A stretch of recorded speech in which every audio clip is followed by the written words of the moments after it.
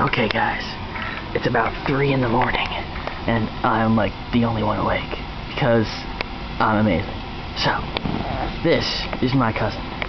She is asleep on the couch. Loser. Anyway, now I'm going to poke her. It will be funny because poking funny, yeah, poking sleeping people is funny. Now, very carefully, just poke her right in the forehead. Oh Oh god! Oh god, she's awake! Run! Run! Run!